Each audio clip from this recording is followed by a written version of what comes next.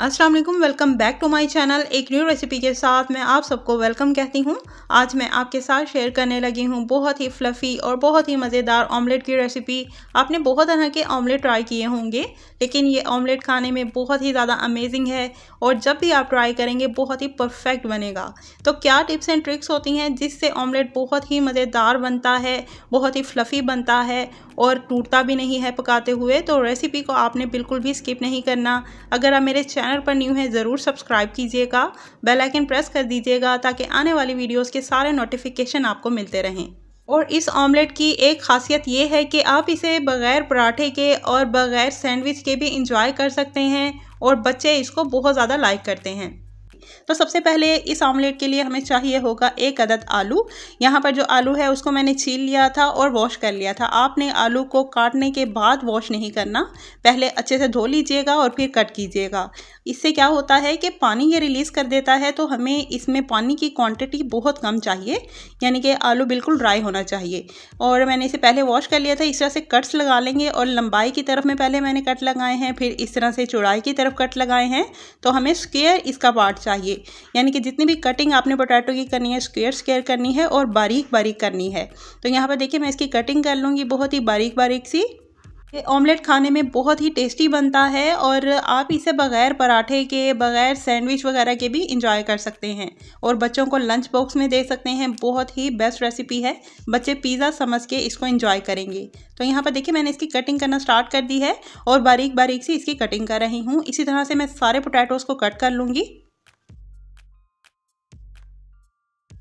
तो देखिए कटिंग मैंने कर ली है और कटिंग करने के बाद ही हमने इसको फ़ौरन से कुक करना स्टार्ट कर देना है। इसको रखेंगे नहीं और ना ही इसे काटने के बाद वॉश करेंगे।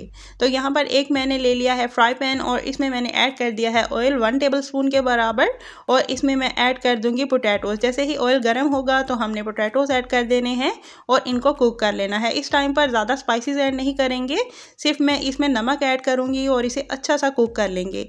अच्छी तरह से पका लेना है क्योंकि जो इंग्रेडिएंट्स हैं, वो वैसे ही ऑमलेट में अच्छे से कुक हो जाएँगे। तो पोटैटो थोड़ा टाइम लेता है तो इसलिए इसकी पहले ही कुकिंग कर लीजिए। और यहाँ पर मैंने नमक ऐड कर दिया है according your taste and flavour है। अच्छी तरह से इसे कुक कर लेते हैं और इन्हें हमने हल्का सा गोल्डन कलर दे देना है। टाइम पर पोटैटो को पकाने का मकसद एक ही है कि इसमें जितना भी मॉइस्चर है, जितना भी ये पानी रिलीज़ करते हैं, ये अच्छे से ड्राई हो जाए। इसी से परफेक्ट ऑमलेट बनेगा। इसको अब हमने उतार लेना है और इसे ठंडा करने के लिए रख देंगे। ठंडा करके फिर आपने बाकी इंग्रेडिएंट्स इसमें ऐड करने हैं।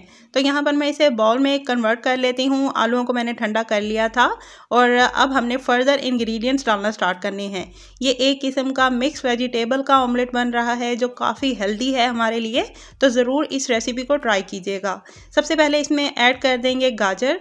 ये ग्रेटेड गाजर है और इसको मैंने ग्रेट कर लिया था और आप चाहें तो कट करके भी ऐड कर सकते हैं।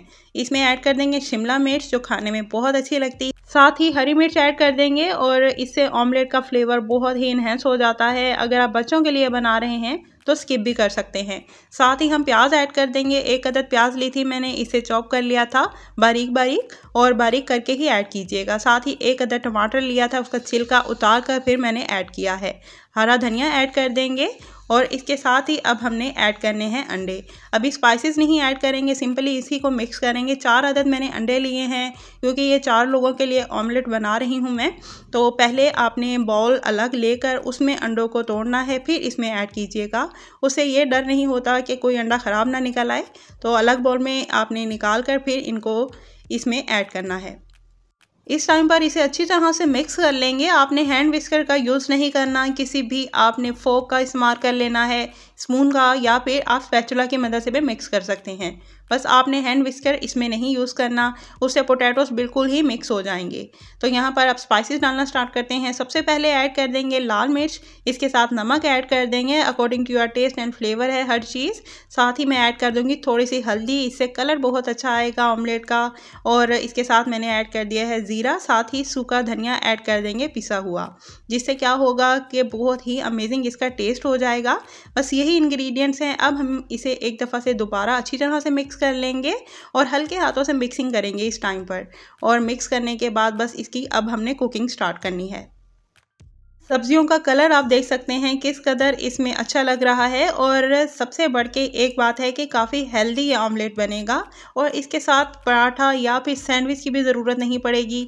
सिंपली आप इसको भी इंजॉय कर सकते हैं। तो देखिए, बहुत अच्छे से मैंने मिक्सिंग कर ली है।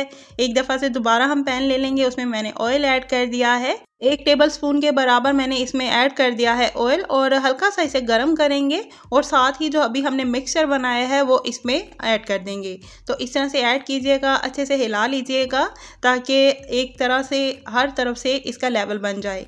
तो अच्छे से मैंने इसे स्प्रेड कर दिया है और इसे अब मैं कवर करके रख दूँगी बिल्कुल लो फ्लेम पर। तकरीबन इसको कवर करेंगे छः से सात मिनट के लिए ताकि ये बहुत अच्छे से हार्ड हो जाए ऊपर से और नीचे से ये कलर भी थोड़ा सा चेंज करेगा, लेकिन ऊपर वाला जो कलर आएगा वो बहुत ही परफेक्ट रहता है। तो देखिए मैंने इसे कवर करके रखा था तकरीबन सेवन मिनट्स के लिए तो बहुत अच्छे से ये हार्ड भी हो चुका है नीचे से और तमाम जो सब्ज़ियाँ हैं वो भी अच्छे से कुक हो जाएँगी।